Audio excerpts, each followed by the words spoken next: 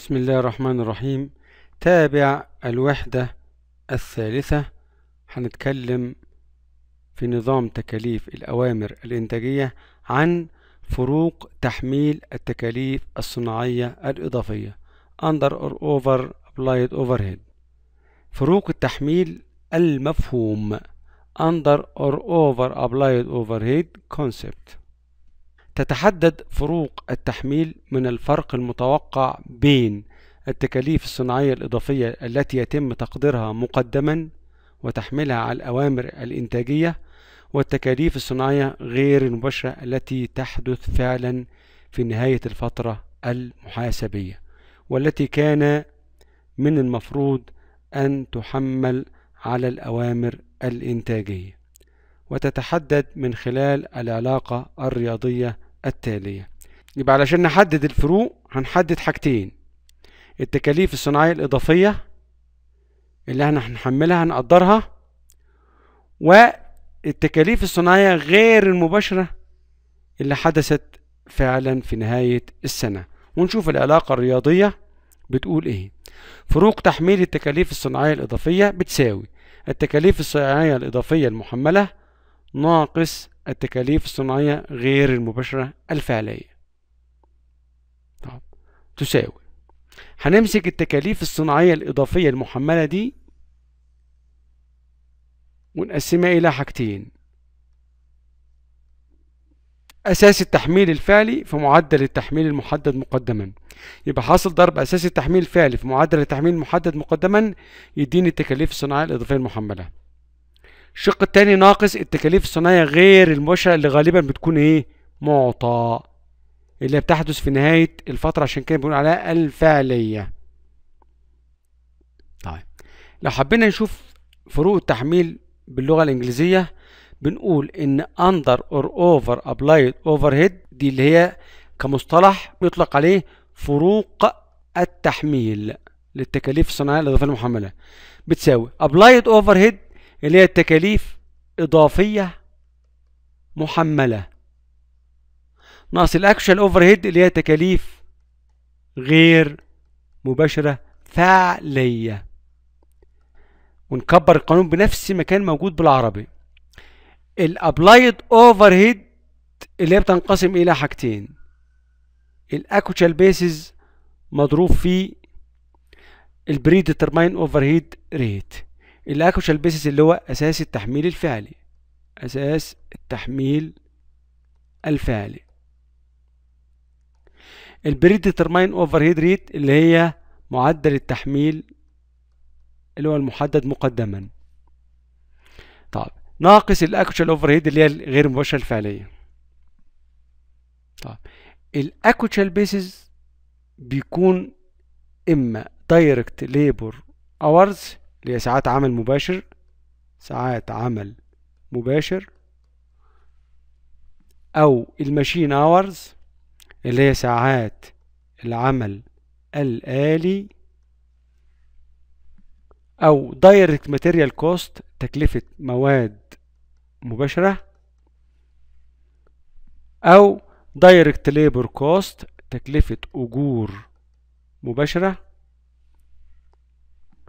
أو prime cost اللي هي تكلفة أولية. ده اللي هو ال actual basis اللي هو أساس التحميل. طيب.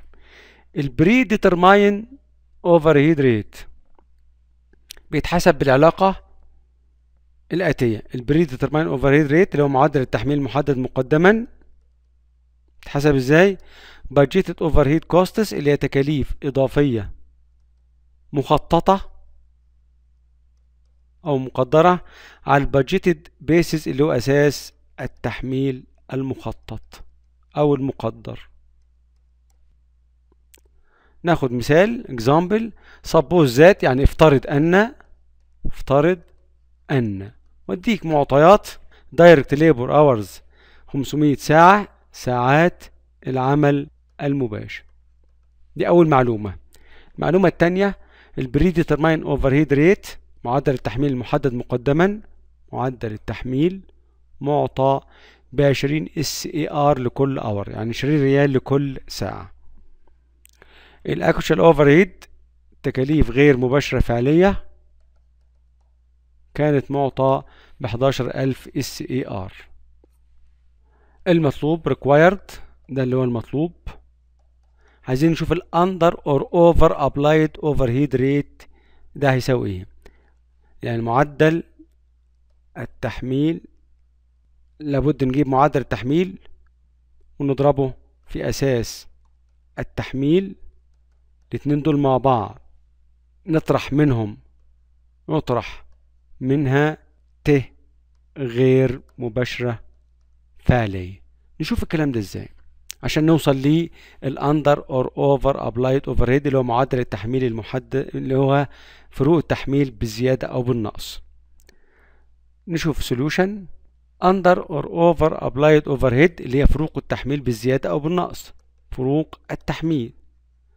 اللي هي under بالنقص or over يعني بالزيادة بتساوي ال applied overhead ناقص ال actual overhead طب هيساوي ال actual basis مضروب في ال predetermined overhead rate ناقص ال actual overhead طب ال actual basis اللي هو كان معطى بال 500 أساس التحميل اللي هو ساعات العمل.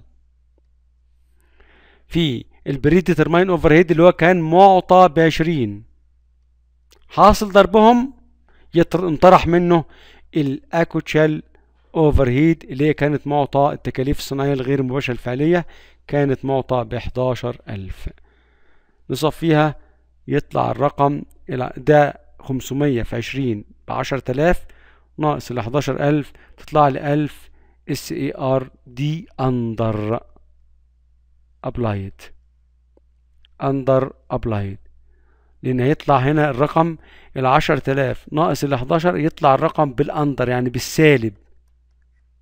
وصلنا إلى احتمالات فروق التحميل عند المقارنة بين التكاليف الصناعية الإضافية المحملة والتكاليف الصناعية غير المباشرة الفعلية قد يظهر أحد الاحتمالات التالية. الاحتمال الأول احتمال تاني احتمال تالت. في الاحتمال الأول إن تكون التكاليف المحملة تساوي التكلفة الفعلية.